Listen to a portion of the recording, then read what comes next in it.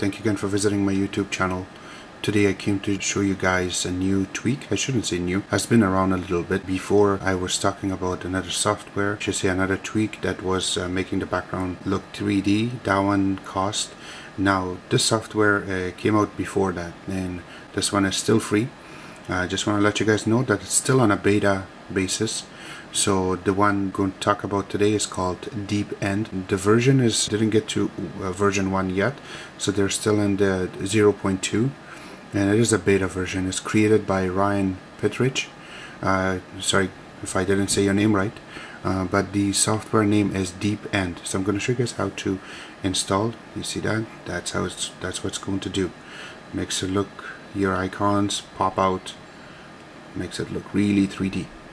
So in order to get this you need to go to Cydia. To wait till this is launched. And once this is launched you're going to search and just type deep D-E-E-P E-N-D and search.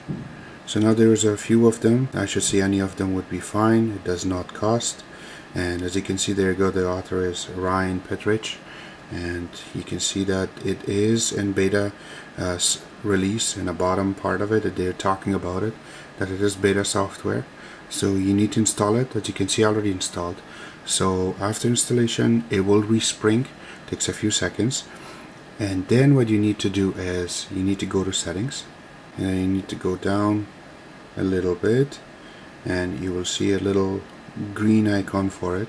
And now you can set it up so you can zoom in more pitch or roll you can set it up. So I set it up a little bit higher than 50% and I turned it on. So now when you get out there you go see? It looks like your icons are sticking out and it's 3D so I just wanted to show you guys this uh, new beta version for deep end.